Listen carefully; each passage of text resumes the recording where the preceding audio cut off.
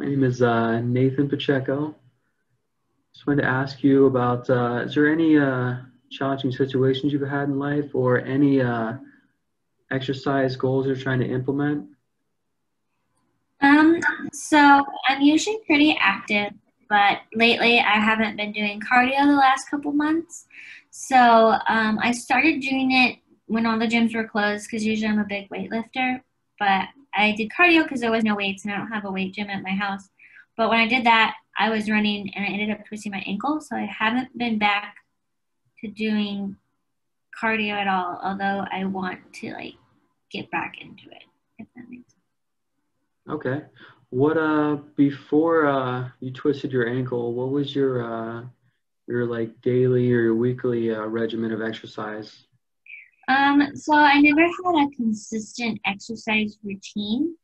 Um, my job, I worked a lot and it's a very physically demanding job.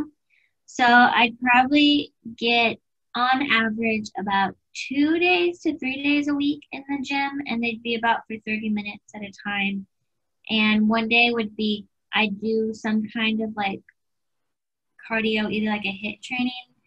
Um, although I wouldn't do that very often, I'd go, I gravitate more towards doing weights. So like I do like two leg days and one like arm day almost. And that was kind of like the basic, or that was the standard until I didn't have a gym anymore. Then I stopped doing all of it completely. And then, like I said, I started to get into cardio. Then I twisted my ankle and then I stopped. And then I really haven't gone to do anything since. Okay. Do you uh, do you think that the uh, the fear of injury is causing you, preventing you from going back to the gym or exercising? Um, yeah, I think it's more for the cardio aspect because um, weights. I just know that I'm like trying to get back into the gym, but right now the availability is low. So I think that's for that. But for cardio, especially, I think I'm still kind of nervous about retwisting my ankle because now that I actually have my job to go back to and like school, I can't sit out like I did over the summer when I didn't have anywhere to go. Mm. Mm. What do you uh, What do you think are some factors that would help you motivate yourself to get back into the uh, gym? Um, I think one of the biggest things would probably be to like plan it out in my schedule. When I have a plan each day, I tend to follow it better than if I just wake up and randomly decide to do something. And I think another important thing would be um, getting like a buddy to go with because I used to have a workout buddy, but she didn't come back to campus this year. So now it's kind of just me. And that doesn't really motivate me because no one's like counting on me to meet them at the gym. So that's true. Do you think uh, getting into the groups or meeting new people that also have the same uh, goals as you would help you? Um, yeah, I think it really would. I know I do well in like partner type work. So I think that if I um, had more like even when they used to do group classes i love to go to those here but they're not offering them right now also so i don't get to do group classes and then i don't have a workout buddy so i think it's kind of like if i could get more into that i think i'd be able to like stick to a routine better okay all right would you say that uh, writing out goals or writing out your daily uh, schedule helps you more, or are you a person who likes to just go as you feel? If you're in the mood to exercise, do you like to go then, or do you like having a set schedule? Um, I, I like having more of a set schedule.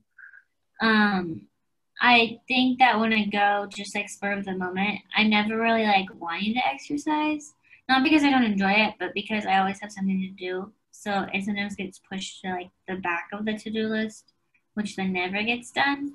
So I think if I made it more like the top, or like if I did it more in the morning before I started my day, um, if I like implemented it into that part of my schedule, then I think I'd probably have like a better adherence towards actually starting something or like completing a goal physically. Okay, great.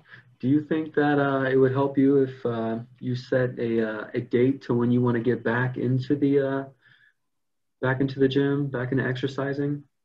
That way you can create an action plan. Um, yeah, I think probably doing a date would be the best also because um, I feel like just saying that I want to get back into it.